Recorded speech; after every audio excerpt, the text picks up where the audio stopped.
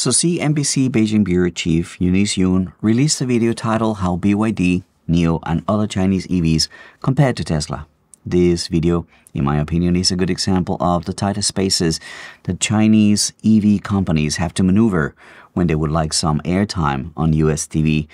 Yet at the same time, they know that this journalist will probably misreport and make sure that their brand looks as bad as possible at any chance they get.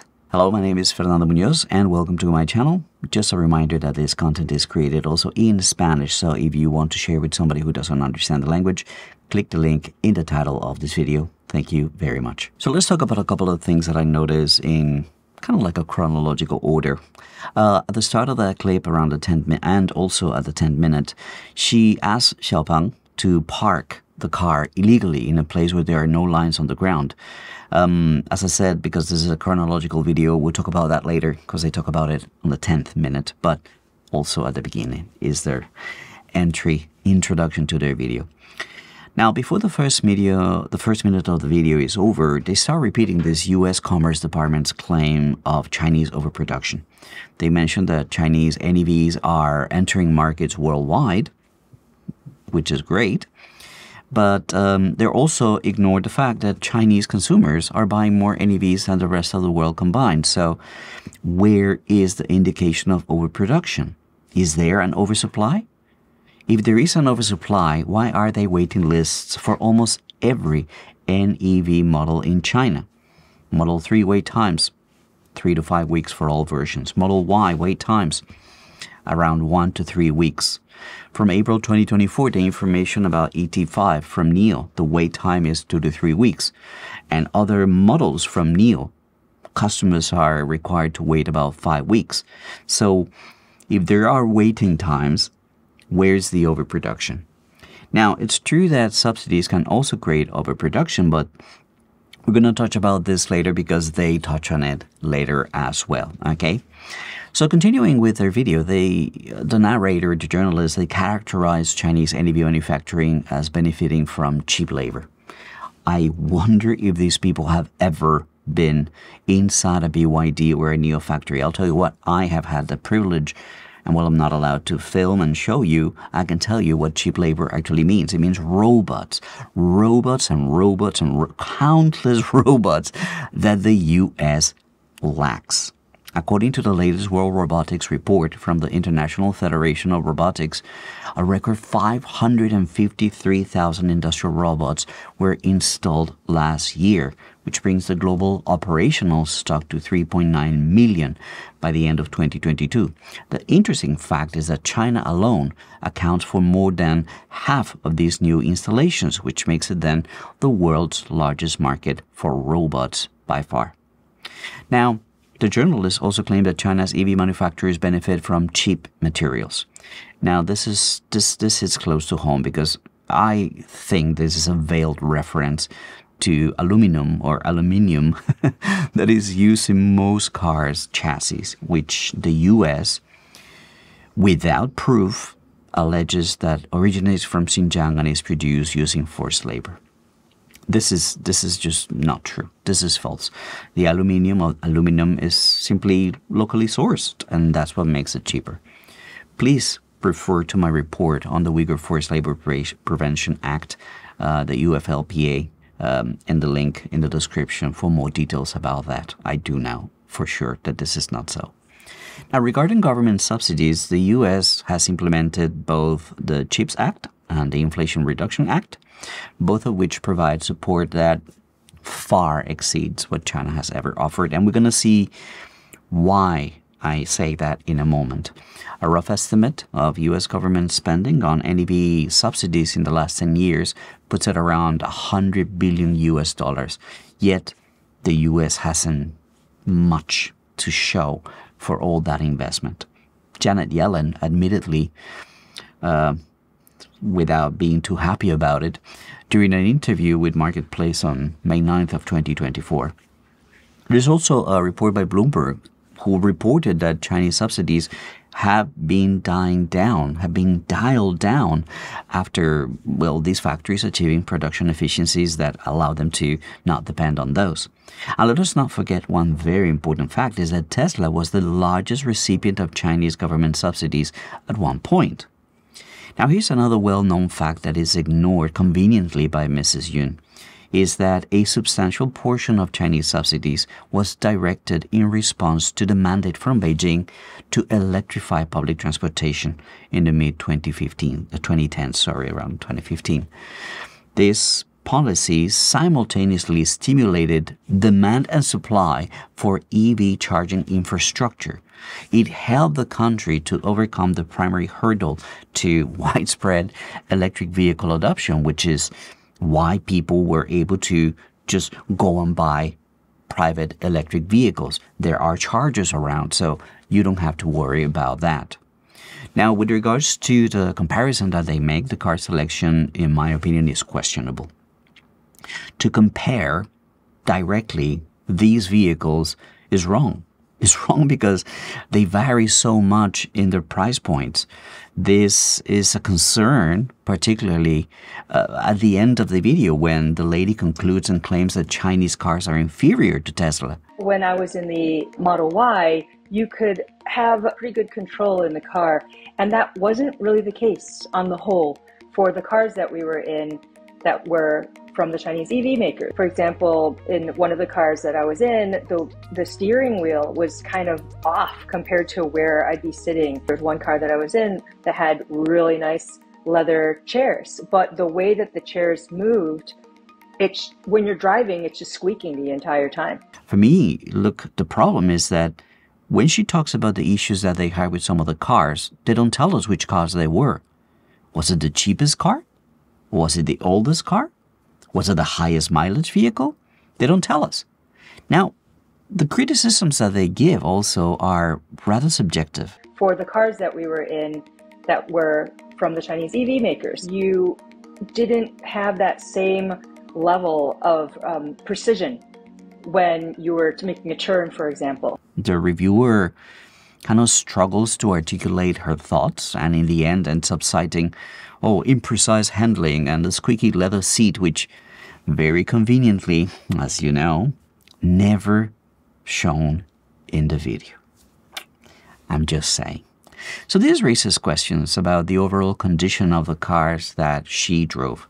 Is it possible that these were just previously abused test drive vehicles, you know, drive it like it's stolen? Um, there's a fact that I want to mention. This is publicly available information. If you type any car license plate, is going to tell you that in this particular case, the NIO's license plate has a parking violation from 2022, as you can see here, which indicates that this is at least a, 20, uh, a two-year-old car. It's not a brand new car. Now, why do I say this? Because uh, if you use the newest cars, you get the best experience. But anyway, let us move on. Um, around the third minute in the video, yeah, the narrator intentionally uses the word cheaply to describe BYD's car manufacturing and you know how I am about language. Well, often we associate cheap with low quality. It is true that cheap can also imply affordability. And the fact is that BYD's competitive car production is facilitated by its vertical integration strategy. That's what enables them cost management and potential lower prices to customers. Now, the narrator overlooks the fact that BYD was actually compelled to produce many car parts in house due to early supply chain restrictions that were imposed by their competitors. They just wouldn't sell them the parts, so okay, you don't sell me, I'll make them at home. Through their development, they have been forced to start designing and engineering and making parts for their cars when competitors decided not to sell to them. They now make suspensions, gearboxes, motors, braking systems, and so many other parts for their cars. It's very similar to Huawei's resilience in overcoming unfair sanctions on their chips. You don't sell me, okay, I'll figure it out, I'll make my own. This is why BYD ended up innovating and patenting thousands and thousands of self produced components. Now, on BYD's battery expertise, they've been making batteries for decades, even when they when I think that they started making mobile phone batteries. I remember visiting their factory and there is a Nokia 3010 or 3310, I forgot the name of the model. That's how long they've been making uh, batteries. But then they moved on into making batteries for public transportation. And this is where it's important to understand a few things. The Chinese government subsidies were directed at BYD around 2018, 2017. They were about $3.2 billion, as Ms. Yoon points out correctly, but they primarily focus at developing electric public transportation, not private cars. As I mentioned before, this Chinese policy spurred both demand and supply for EV infrastructure. This is what helped them to resolve a critical obstacle to private EV adoption in the country. So it was a subsidy that went to BYD, but in the end, it was a subsidy to the whole infrastructure of the country, to the whole plan of electrifying the, the country's fleet, and uh, it paid out. It's just really, really successful model. The entire ecosystem as well as the government built up a very good environment for apply the new energy vehicle for the energy storage, for example, battery swapping, battery charging, all the infrastructure make this happen. And of course, the industry itself, our OEMs, our supply chains also support such fast growth compared to the other market around the world. Now, regarding Mrs. Yoon's NIO EC6 battery swapping experience, and I, I, this one again is close to home because you all know that I drive a NIO. I need to clarify that she was using a first generation swapping station, not the more advanced four generation model. Why did she choose that? Hmm, I don't know. Not even the third generation, which is also really good, but but she went for the first one. I know because there were no parking zone lines at the front of the of the swapping station, so it's definitely a first generation. Also, the lifts that they show in the video, those are first generation lifts. Um, additionally, there's something else that I picked up is the AI Nomi says in Chinese that there's a two person queue ahead of her. Well, they say three minutes. My experience was about a little under 10. So she's got to wait until those people are done. Now, given these factors, her complaint about a nearly 10 minute swap time uh, is questionable. Notably, I have to mention one thing that is extremely, extremely relevant. When you swap battery at a first generation station, you cannot park the car yourself. You actually are required to transfer your car to a NIO employee who's going to park it for you. Why doesn't she mention this? When she doesn't say these things, it raises questions about why the omission. I don't know. You let me know in the comments if you think that these omissions were intentional. Now, on to um, Ms. Yoon's attempt to use the auto parking feature of the Xiaopeng Xpeng, which cannot be qualified other than a failure. Yes, that was not a good experience. It didn't work, basically. However, as an experienced driver here in the country, nearly two decades driving here, there are several things that I would like to point out. Number one, the chosen parking location was unconventional. It, it, didn't have the designated parking spaces that are typically marked with painted boxes on the ground. These markings are crucial for the car systems, the cameras and whatnot to to determine the type of parking that it is. Is it parallel parking? Is it perpendicular parking? Or is it maybe angled? Now, in some cases, drivers can manually input the type of parking that it is, and it allows the car to bypass the detection systems. So, all in all, I think that the decision to test this particular feature in a very atypical location, why didn't she just go to a regular parking spot? Right? That raises questions about the intent behind the test. It appears as though this test was designed by Ms. Yoon to fail. But again, you, the viewer, has to make your own conclusions. Let me know in the comments what you think. Now, on a petty note, the inconsistency in blurring license plates. Yeah, blurring the American license plates at the beginning of the video when they show a Tesla, but not the Chinese ones when she's parking.